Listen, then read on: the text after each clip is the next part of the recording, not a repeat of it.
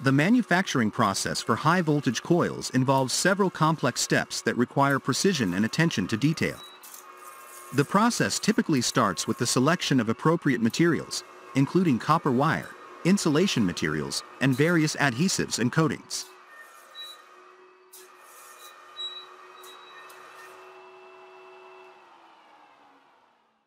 The first step in the manufacturing process involves winding the copper wire into a specific shape and size. This is done using specialized winding machines that can handle the high voltage requirements of the coil.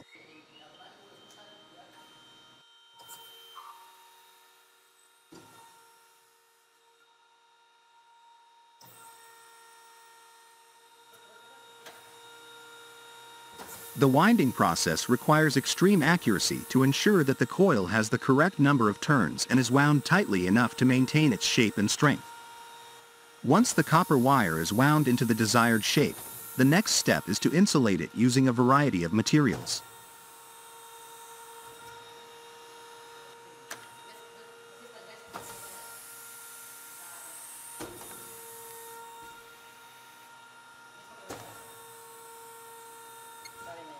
This is essential to prevent electrical arcing and ensure that the coil can withstand the high voltages it will be exposed to. The insulation materials used can include various types of polymers, resins, and tapes, all of which are chosen for their ability to withstand high temperatures and resist electrical breakdown.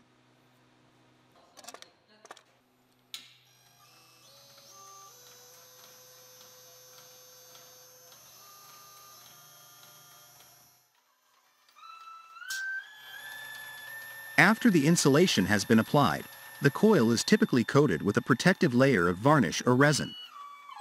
This helps to further insulate the coil and protect it from moisture and other environmental factors. The coating process must be done carefully to ensure that the coating is applied evenly and that all areas of the coil are covered.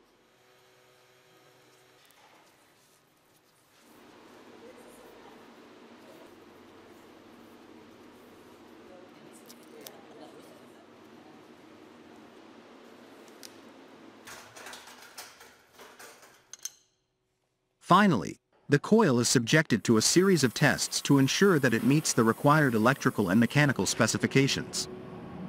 These tests can include high voltage and insulation resistance testing, as well as checks for physical integrity and dimensional accuracy.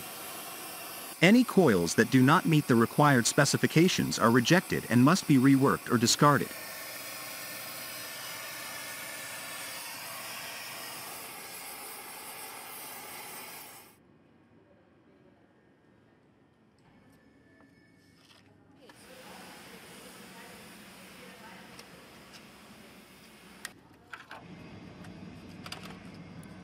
A steam turbine is a device that extracts thermal energy from pressurized steam and converts it into mechanical energy to generate electricity. It consists of several components such as rotors, blades, casings, bearings, and seals that are assembled in a precise manner to ensure optimal performance and longevity.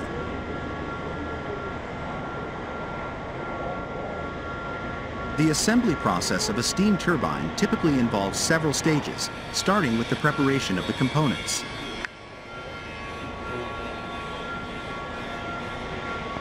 The components are first inspected for any defects, cleaned, and lubricated before assembly.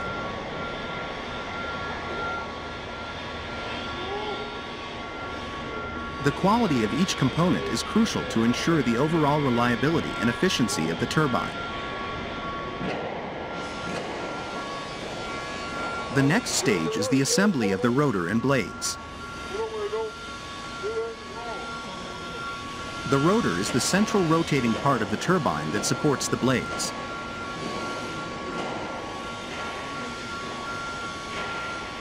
The blades are carefully inserted into slots on the rotor, and the entire assembly is balanced to prevent any vibrations during operation.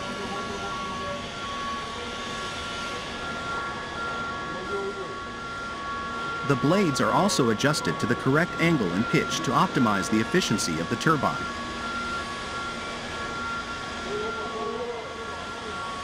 The casings are then assembled around the rotor and blades to form the turbine.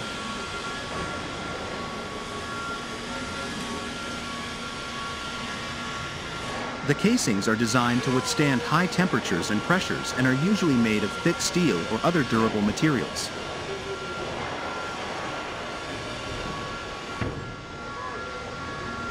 The internal components are aligned and secured in place.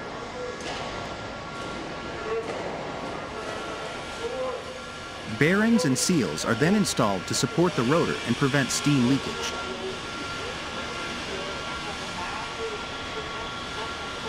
The bearings are designed to reduce friction and support the weight of the rotor while allowing it to rotate freely.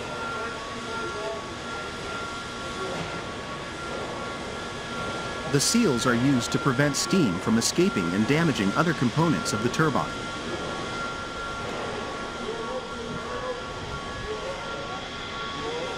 Once the turbine is assembled, it is thoroughly tested to ensure that it meets the required performance standards.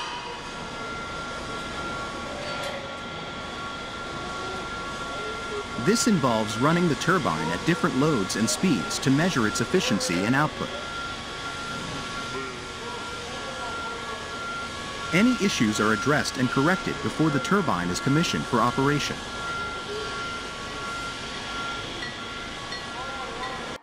Rewinding a large motor is a complex process that requires expertise, precision, and attention to detail. At Koffler Electrical Facilities in San Leandro, California, this process is done with incredible scale and complexity.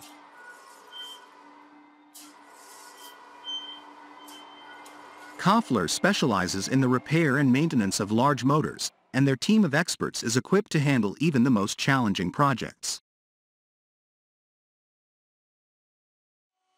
The motor featured in this video is used to power a pump that removes water from a submarine dry dock facility at Pearl Harbor. This motor is massive, with a weight of over 20,000 pounds and a horsepower of 3,000.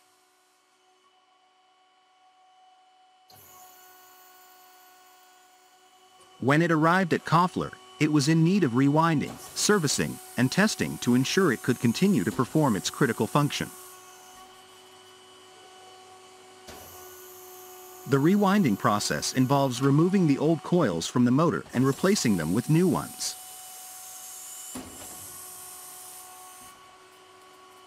KOFFLER's team of experts carefully measures the motor and creates custom wire coils that are the exact size needed.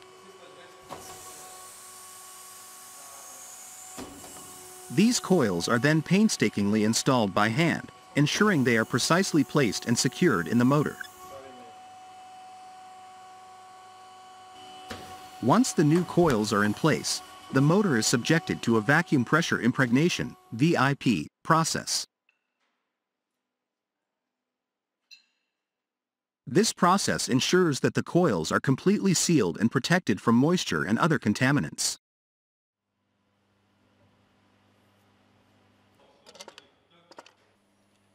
Koffler is one of the few facilities in the country that has the equipment and expertise to perform this crucial step in the motor rewinding process.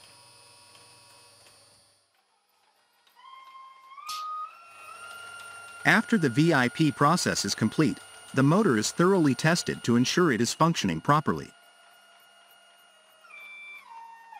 Koffler has a state-of-the-art testing facility that can simulate the motor's operating conditions to ensure it can perform at maximum efficiency. The team of experts at Koffler takes pride in ensuring that every motor they work on is thoroughly tested and meets the highest standards of quality and performance. The process of rewinding a large motor is a complex and challenging one, but the team at Koffler Electrical Facilities in San Leandro, California is up to the task. Their expertise, precision, and attention to detail ensure that every motor they work on is restored to peak performance. The use of web videos to showcase their unique capabilities is an excellent way for Koffler to communicate their expertise to their customers and prospects. The videos provide an efficient and effective way to tell the story of the motor rewinding process, showcasing the scale, complexity, teamwork, and know-how required to get the job done right.